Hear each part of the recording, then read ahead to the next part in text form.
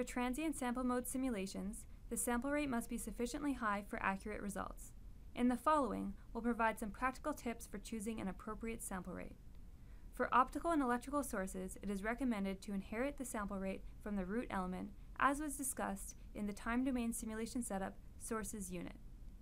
For impulse response simulations with the optical network analyzer, the sample rate is defined by the frequency range property. One way to check whether your sample rate is sufficiently high is by comparing the results from frequency and time domain optical network analyzer simulations. Connect your element to an ONA with the analysis type set to scattering data. Next, connect your element to an ONA with the analysis type set to impulse response. Run the simulation and compare the plots of the group delay and transmission. The frequency domain results are accurate and independent of the sample rate.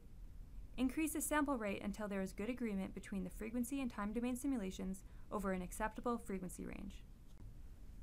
Here's an example of the sample rate check for a straight waveguide with a length of 10 microns and a group index of 4. The frequency domain results are plotted in blue and the time domain results are plotted in green. The two leftmost plots show the group delay and the real part of the transmission for a sample rate of 20 terahertz.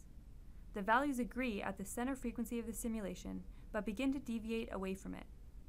The two rightmost plots show the results when the sample rate is increased to 80 terahertz. Now the frequency range over which the time domain simulations are accurate is much larger.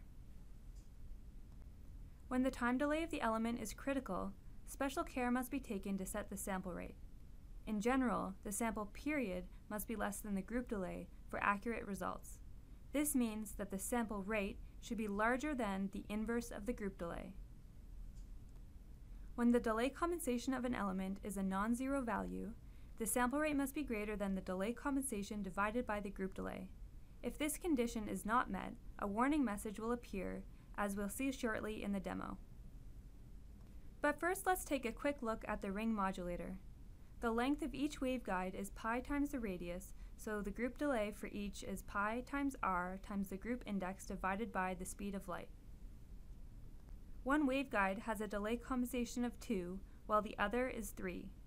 This means that the sample rate should be greater than 3 divided by the group delay, as 3 is the larger of the delay compensations.